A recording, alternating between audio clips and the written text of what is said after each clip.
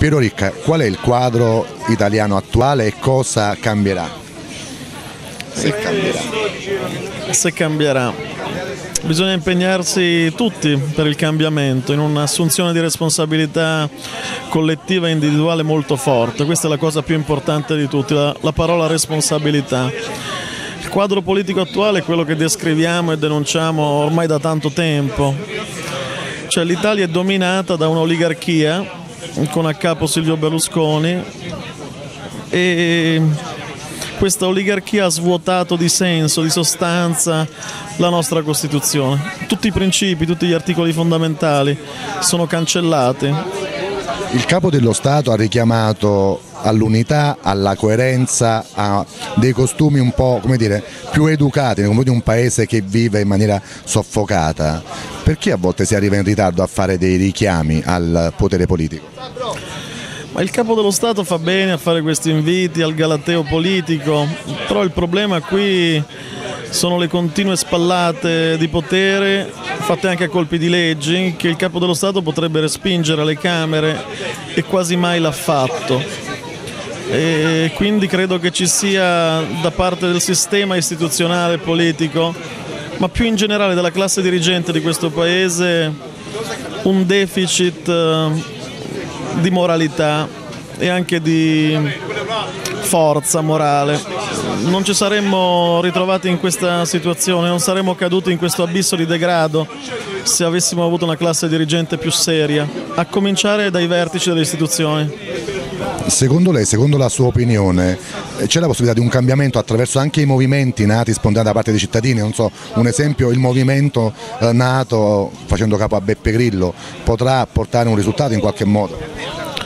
Ma la società civile deve svegliarsi, deve attivarsi attraverso tutti i suoi canali perché mm, se la società dorme, se è fatta da cittadini che pensano che basti andare a votare una volta ogni cinque anni per assolvere i propri diritti, doveri democratici, è chiaro che una nazione diventa il terreno di conquista di oligarchie d'affari e di partito.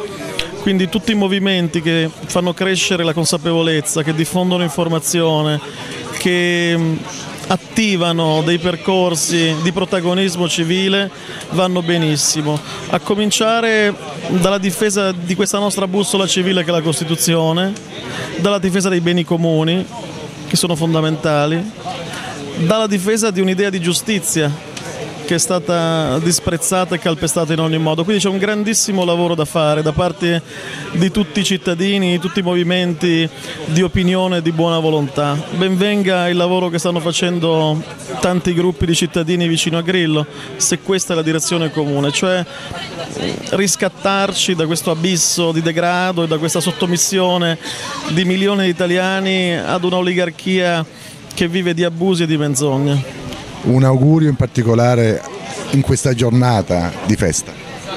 Io sono venuto da Milano a Napoli sperando nel bel tempo, ma qui piove.